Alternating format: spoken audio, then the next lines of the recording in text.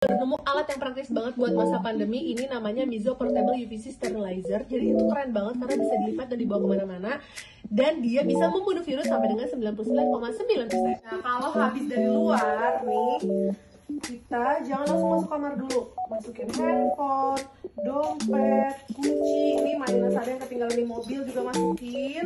Terus kita setting. Ini pasti ingat setting harus sampai mentok nih karena magnetnya ada di sini. Kemudian aku masukin ini.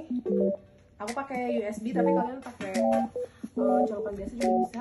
Terus udah steril dan tunggu 5 menit.